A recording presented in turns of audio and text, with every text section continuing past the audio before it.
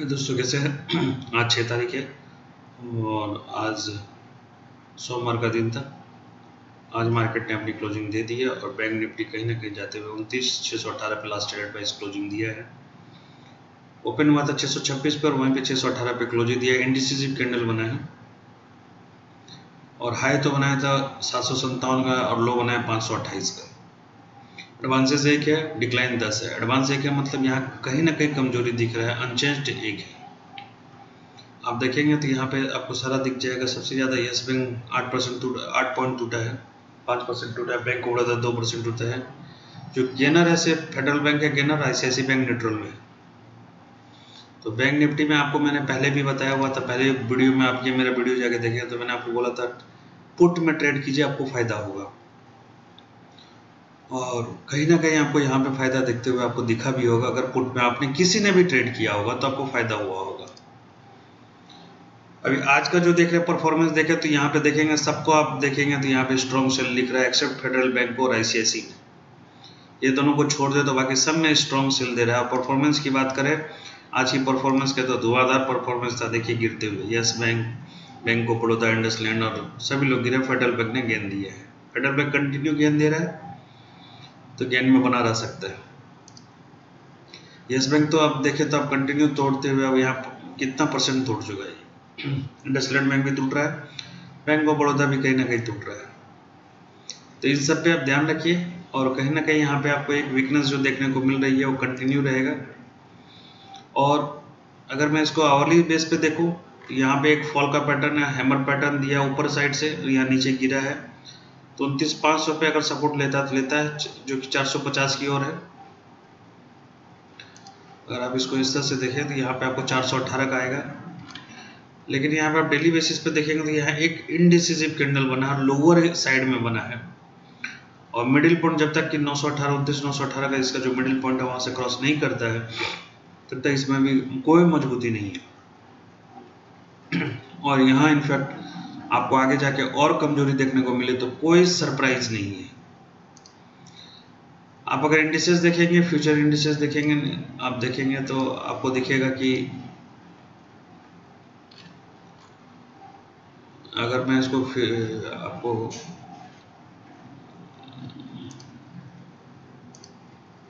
आपको इसके निफ्टी अभी देखो डोजर्स के इंडिसेस फ्यूचर को दिखाऊँ, कोशिश करूँ आपको दिखाने की बताऊँ। आप देखेंगे अगेन, आज जो, आज वापस क्या हुआ है, यहाँ पे आपको देखने को मिलेगा, आज भी डो यहाँ पे टूटता हुआ ही दिख रहा है।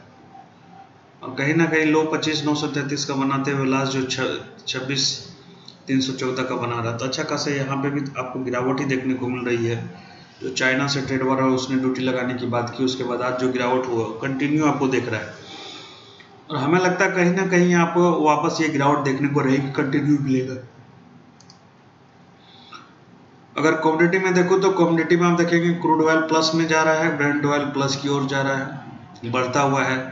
तो कहीं ना कहीं ये जब बढ़ेगा तो आपका जो ऑयल सेक्टर है वो गिरेगा। तो ये भी एक प्रेशर बनाता है बैंक निफ्टी की ओर। और अगर फॉरेक्स की बात करूँ यूएसडी डॉलर तो यहाँ पे भी यूएसडी जो है गेन लेते हुए दिख रहा है। तो आपको किसी न किसी भी तरीके से देखिए डॉ कमज़ोर दिख रहा है कॉमोडिटी में ऑयल बढ़ते हुए दिख रहा है डॉलर के रूप में यहाँ पे ये बढ़ते हुए दिख रहा है। तो कल का भी जो मार्केट दिखता है, लगता है कि कल का भी मार्केट जो रहेगा, वो थोड़ा निगेटिव ही रहेगा। और आपको कल भी पुट की ओर में ही फ़ायदा देखने को मिलेगा।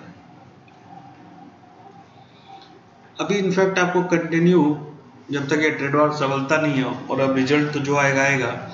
मुझे लगता है कि बैंक निफ्टी नीचे की ओर जाएगा।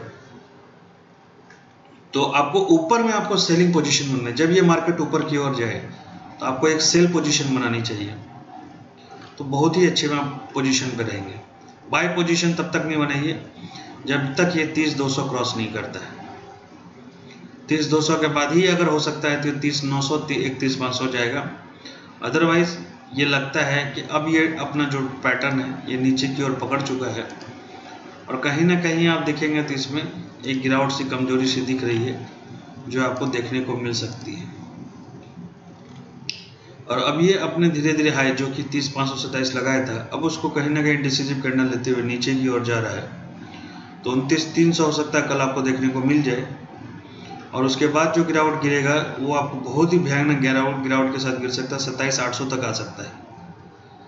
तो कहीं ना कहीं यहाँ पे इनडिसिजिव कैंडल है। कल आपको उनतीस तीन सौ और उसके बाद सत्ताईस पाँच सौ तक जाते हुए दिखे तो कोई बड़ा सरप्राइज़ नहीं है। कल या परसों में कोई बड़ा और न्यूज़ आ जाएगा, हो सकता है तो मार्केट उसके लिए बहुत ही अच्छा सॉलिड गिर सकता है। तो आप, अब इसमें कहीं ना कहीं पुट की ओर अगर पोजीशन बनाते हैं पेपर ट्रेड करते हैं तो शायद आपको फ़ायदा देखने को मिल सकता है।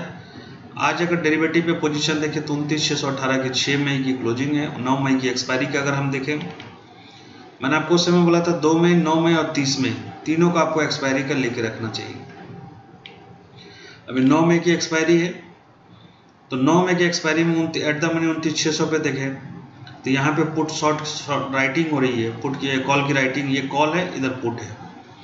कॉल की राइटिंग की जा रही है। और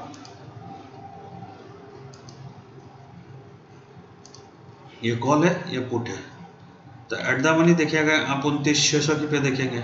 तो कहीं ना कहीं यहाँ पे कॉल की राइटिंग की जा रही है ऊपर से, और ऊपर जो तीस दो सौ के ऊपर अनवाइंड करके अब ये नीचे की ओर कॉल राइटिंग चालू कर दी है।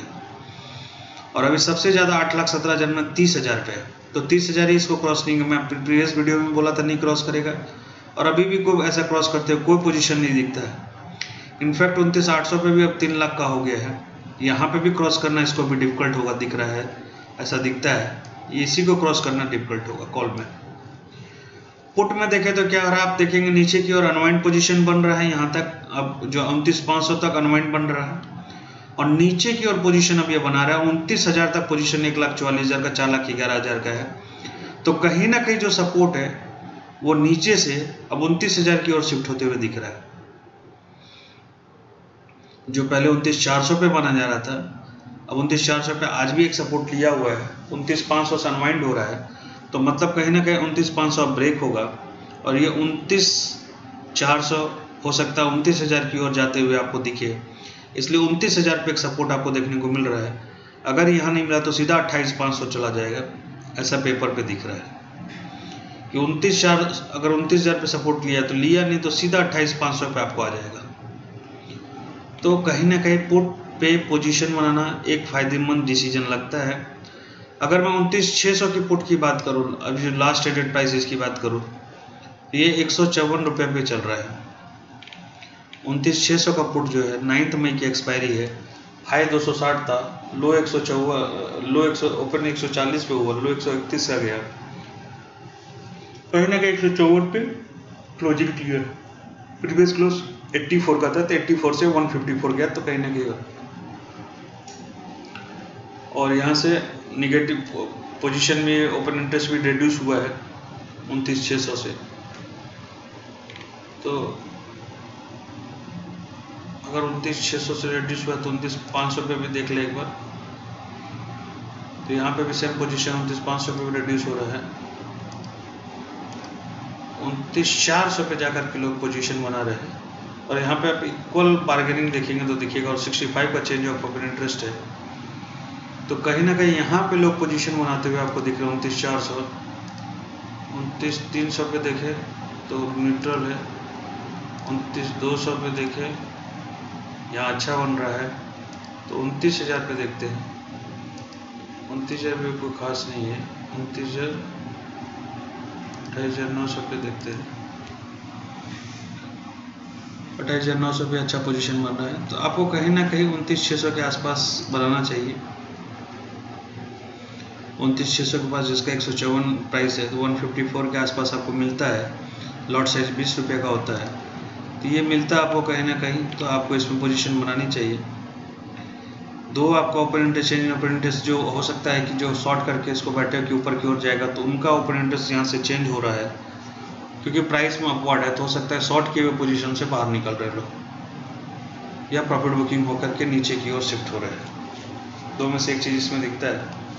तो यहाँ पे आप अगर पोजीशन बना कर आते हैं तो हो सकता है कि आपको आगे फ़ायदा देखने को मिल सकता है। मेरा पर्सनली कोई भी बाइंग और सेलिंग रिकमेंडेशन नहीं है। आप अपनी स्टडी करें वॉच रखें और फिर अपनी पोजीशन को बनाएँ। अपने फाइनेंशियल एडवाइजर से बात करके ही पोजीशन को बनाएँ। लेकिन इस ट्रेड वार को देखते हुए मुझे लगता है, ये कोई सलटने वाला है नहीं। और फ्राइडे तक दिया है उसको टाइम चाइना को अपना अपने पॉलिसीज़ को डिस्क्लोज करेगा। चाइना को झुकने वाला है नहीं। तो उस कंडीशन में मार्केट में क्लैश ही होने वाला है। तो आप पुट की ओर पोजीशन बना के रखें, आपको फ़ायदा देखने को मिलेगा। और कहीं ना कहीं अट्ठाईस दो सौ की ओर जाकर के मार्केट फिर से एक बार स्टेबल होकर के फिर से ऊपर की ओर आता हुआ आपको दिख सकता है। तो मुझे लगता है कि मार्केट कहीं ना कहीं यहाँ से अट्ठाईस दो सौ की ओर जाता हुआ मार्केट आपको दिख सकता है। कमिंग वीक्स में, कल और परसों नहीं दिखेगा। कमिंग वीक्स में आपको मार्केट अट्ठाईस दो सौ की ओर जाते हुए दिखे। तो कोई सरप्राइज़ नहीं होगा। और अगर निफ्टी में मैं अगर अट्ठाईस दो का पोजीशन अगर मैं 30 मई की एक्सपायरी की बात करूँ, और मैं अगर अट्ठाईस दो का पुट की बात करूँ, अट्ठाईस दो का पुट तो ये आपको तीन सौ उनचास रुपये पे मिल रहा है। तीस मई का अट्ठाईस दो का जो मिल रहा है थ्री फोर्टी नाइन पे मिल रहा है। Previous close three thirty five पे था वहीं पे हुआ है। इसमें कोई सेल क्वांटिटी नहीं है बाई ही चल रहा है अभी। इस और इस जहाँ पोजीशन चल रही है, यहाँ पे भी आप इसको एक बार देख सकते हैं। तो अब फ़ायदा होते हुए दिख सकता है। कहीं ना कहीं आपको यहाँ पे भी एक फ़ायदा, आपको फ़ायदा दिखेगा। फिर भी आप स्टडी करें, अपना डेप्थ एनालिसिस करें चार्ट को ध्यान रखें चार्ट पे वॉच करें। और पोजीशन आप देख करके ही बनाएँ। मेरा कोई बाइंग और सेलिंग रिकमेंडेशन नहीं है। सिर्फ़ मेरा ओपिनियन है कि मार्केट शायद नीचे की ओर जा सकता है। 80 परसेंट प्रोबेबिलिटी है कि वो नीचे की ओर जाएगा। वीडियो देखने के लिए बहुत बहुत धन्यवाद।